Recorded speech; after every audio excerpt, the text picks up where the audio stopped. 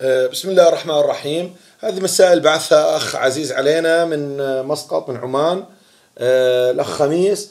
بالنسبة لإجابة الأسئلة طبعا هو معطيني معلومات. مثلا دال الصفر تساوي واحد. يعني الآن مش مبين إيش راح أستخدمها أو لإيش راح أستخدمها. ودال اثنين بيساوي 36 لحد الآن أنا كمان مش عارف ليش أستخدمها. لكن عندي التكامل من صفر إلى اثنين. هاي اثنين على فكرة مش واحد. أيوة. لدال فتحة على دال سين تحت الجذر. جذر ثلاث زائد جذر دال سين. شوف أنا كيف بفكر فيها؟ لو طلعت على اللي تحت الجذر هون هذا اللي قاعد بظلله بالأزرق اللي هو ثلاث زائد جذر دال سين لو آه، اشتقيته هيك ذهنيا بلاقي إنه مشتقته هي موجودة برا. دال فتحة على جذر دال سين. اذا أنا فكرتي هون إني راح أعتبر إنه صاد تساوي ثلاث زائد جذر دال سين يعني بدي استخدم التعويض أو الاستبدال.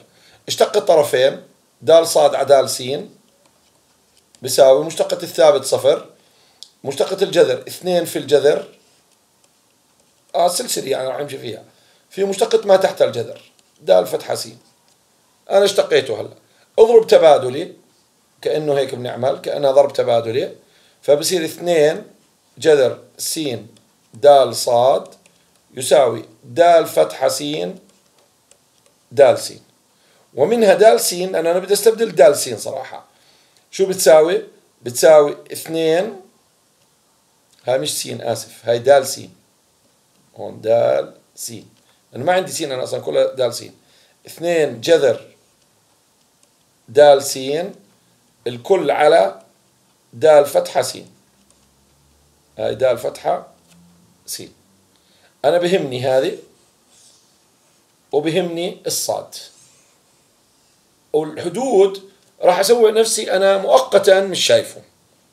okay؟ يلا نعيد كتابة المسألة الآن بطريقتنا. راح يصير لك تكامل. أنا بدي أقول لك زي ما مرة ثانية بأكد إن أنا راح أتجاهل الحدود مؤقتا بس. تكامل. شوف دال فتحة سين. راح أخليها دال فتحة سين. أنا بعيد بكتابة السؤال على فكرة. هون okay؟ على جذر التربيعي لدال سين في جذر صاد. لأنه أنا استبدلت صاد اللي هو ثلاث زائد جذر دال سين هي صاد. مضروبة في دال سين. طب دال سين وينها؟ هيها دال سين. إذا راح نكتب مكانها. اثنين لأنها ثابت بدي أطلعها برا التكامل. مضروبة في جذر دال سين على دال فتحة سين. هون بدي اكتب دال صاد. آه هون نسينا نكتب دال صاد. دال صاد. الآن بدنا نعمل عمليات الاختصار. عندي جذر دال سين راح يشطب مع جذر دال سين وعندي دال فتحة راح تشطب مع دال فتحة. إذا صفت المسألة بشكلها النهائي أو شكلها الكامل بهذه الطريقة. اثنين تكامل واحد على جذر صاد دال صاد. مرة ثانية بنأكد إنه دال صاد هون كانت موجودة لأنه هي هي بتنزل أنا كنت ناسي كتابتها بس. Okay. الآن هي تكامل بسيط. إذا عبارة عن اثنين صاد أس سالب نص. حولها لأسس على قاعدة ال power rule أو قاعدة المشهورة في التكامل. إذا عبارة عن اثنين صاد أس نص. يعني ضفنا الأس واحد قسمنا على الأس الجديد على نص. اللي هي عبارة عن أربعة جذر صاد. رجع صاد لأصله. إيش ما كان صاد؟ اللي هي هيها صاد هيها الأصلية. هي ثلاثة زائد جذر دالسين. هذا كله تحت الجذر الكبير هذا. الآن بنحط الحدود التكامل. إذا الجواب النهائي كان طلع معي هيك. أربعة في الجذر التربيعي لثلاثة زائد الجذر التربيعي لدال س. حدود التكامل تأتي من وين لوين؟ شوف نرجع للمسألة الأصلية. بده إياها من صفر لاثنين. إذا من صفر يعني من س يساوي صفر إلى س يساوي اثنين. يلا عوض نعمل قوسين مثل ما متعودين دائما ونحط بينهم إيش؟ علامة ناقص نطرح هذا يلا التعويض بالحد الأعلى فبصير هاي أربعة مضروبة في الجذر التربيعي ل ثلاث زائد الجذر التربيعي لدال اثنين. هون بتيجي دال اثنين اللي أعطاني إياها في المقدمة. ليش أعطاني إياها؟ اللي وراها هون راح نكتب أربعة في الجذر التربيعي لثلاث زائد الجذر التربيعي لدال صفر. هلا دال اثنين هو حكى لي إنها 36 إذا هاي بتصير هيك. 4 في الجذر التربيعي لثلاث زائد الجذر التربيعي ل 36 ناقص 4 في الجذر التربيعي لثلاث زائد جذر واحد. لأنه دال الصفر حكى لي إنها إنها واحد. يلا الآن حساب بسيط. جذر التربيع 36 6 6 زائد 3 9 إذا كل اللي تحت الجذر 9 تحت الجذر بصير قديش؟ ثلاث. أربعة في ثلاث إذا هاي 12 ناقص يلا. هون ثلاث جذر الواحد واحد ثلاث زائد واحد أربعة تحت الجذر اثنين أربعة ضرب اثنين ثمانية. 12 ناقص 8 يساوي 4 وهي الإجابة. نروح على السؤال اللي بعده. يعني هذا يمكن فكرته شوي فيها نوع من الصعوبة إني أنا بطلع على هذا المقدار كله اللي هو الدالة اللي أنا بدي أكاملها وبدي أسوي توحيد مقامات عليها. يعني هيك دال فتحة سين. على سين ناقص دال السين على سين تربيع. واضح إنه السين تربيع هي عبارة عن مضاعف لمين؟ للسين. إذا أنا هون بدي أضرب المقام في سين والبسط في سين علشان توحيد مقامات. فشو بصير المقدار الأول؟ بصير س د فتحة س على س تربيع ناقص د س على س تربيع. طب نكتبهم على شكل كسر موحد هيك. بصير عندنا س تربيع في المقام. في البسط راح يكون س د فتحة س ناقص د س ممتاز. الآن هذا المقدار لو نطلع عليه كويس ونفكر فيه بطريقة شوي مختلفة لو جيت أنا قلت لك اشتق لي هذا المقدار يعني خذ شيء على جنب هنا فكر فيه بطريقة مختلفة شوي. أنا عندي اقتران كويس آه اللي هو س مضروب في دال س وقلت لك اشتقه. يعني عملت له هيك وقلنا له اشتقاق. معلش هاي طالعة مش كويسة خلينا نظبطها. هون س في د س وقلت لك اشتق لي هذا المقدار كله. طب مو هذا على قانون الضرب؟ يعني بنقول هون الأول في مشتقة الثاني مظبوط زائد مشتقة الأول اللي هو واحد في الثاني. بس إحنا مسألتنا مش هيك. طب لو جيت اطلعت عليها لأنه هاي صراحة هي فكرة المسألة اللي وراها. إنه عبارة عن حاصل ضرب. لو جيت تخيلت إنه عبارة عن إيش؟ عبارة عن دال سين على سين.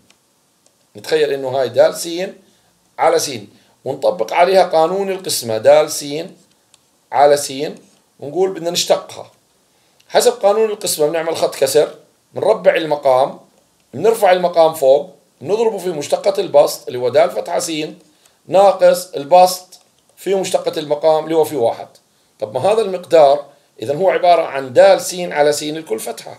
إذا هذا بقدر أكتبه بطريقة ثانية. بقدر أكتب عبارة عن د س على س الكل فتحة يعني مشتقته. يعني أنا لما أقول كل فتحة يعني قصدي فيها إيش؟ قصدي فيها مشتقته. الآن لو دخلنا تكامل على هذا المقدار يعني إنسى يساوي هاي بصير عشان تكون العبارات منطقية. اذا هنا إحنا بنعرف إنه التكامل والاشتقاق مالهم عمليات متعاكسة. ما دام عمليات متعاكسة اذا المشتقه والتكامل شو بصير في بعض؟ بيعكسوا. اذا نتيجة هذا التكامل راح تكون عبارة عن د س على س لكن في عندي حدود تكامل أنا اللي هي من وين؟ من ثلاث من س يساوي ثلاث إلى س يساوي خمسة. طبق القانون اللي هو التعويض المباشر عوض بخمسة راح يكون دال خمسة على خمسة. تعويض مباشر مكان سين بحط خمسة. سوري هاي. دال خمسة على خمسة. وهون راح تكون دال ثلاث على ثلاث. طبعا لو تلاحظ إنه هو معطيك الدال الخمسة هي خمسة ودال الثلاث هي واحد. اذا هي راح تكون عبارة عن دال خمسة اللي هي خمسة على خمسة ناقص واحد على ثلاث. يعني كأنها واحد ناقص ثلث. طب واحد ناقص ثلث كم؟ ثلثين. هيك بكون انتهت المسألة. يلا اللي وراها هون نفس الفكرة اللي هسه طرحتها قبل شوي. لو نطلع على المقدار اللي موجود هنا نلاقيه هو عبارة عن س قاف س الكل فتحة. لو تكتبوا هذا تشتقه تلاقيه عبارة عن الأول في مشتقة الثاني زائد مشتقة الأول اللي هو واحد في الثاني. اللي هو نفسه هذا المقدار اللي حطيته بالأحمر هنا. إذا هذه العبارة نقدر نغيرها ونقول إنها تكامل س قاف س الكل فتحة دال س الآن التكامل والاشتقاق مالهم عمليات متعاكسة إذا بيلغوا بعض. إذا بيطلع الجواب هو عبارة عن س قاف س لاحظوا كيف أني أنا بت يعني آه، بتجاهل الحدود التكامل يعني مؤقتا. الآن دخل حدود التكامل على الموضوع اللي هي لما س تساوي واحد إلى س تساوي اثنين. عوض بهذه الطريقة. يلا عوض أول شيء باثنين بصير اثنين قاف الاثنين ناقص واحد في قاف الواحد. خلص واحد ضرب ما بنكتبوش قاف الاثنين هياته معطيك إياها ستة. اثنين في ستة 12 إذا هي تساوي 12 ناقص وقاف الواحد اثنين إذا ناقص اثنين ويساوي عشرة. إذا هاي إجابتها راح تكون كم؟ 12 ناقص 2 وتساوي 10 نكتبها. 12 ناقص 2 وتساوي 10 بس مش هذا المطلوب. المطلوب إن إنه هذه العشرة يعني اللي إجابة هذا الجزء من التكامل اللي هو الجزء الأول هذا إجابته تساوي إذا عشرة تساوي تكامل من اثنين لألف لخمسة دارسين. طيب نأخذ الطرف اليسار نأخذ الطرف اليسار فقط ونشتغل معاه إذا عشرة تساوي اللي خمسة في ألف ناقص اثنين لأنه هيك تكامل هذا الجزء لأنه ثابت ممتاز. إذا عشرة بيساوي خمسة ألف ناقص عشرة اجمع عشرة للطرفين بصير عندنا عشرين يساوي خمسة ألف. إذا ألف تساوي عشرين على خمسة وتساوي أربعة. وهو المطلوب.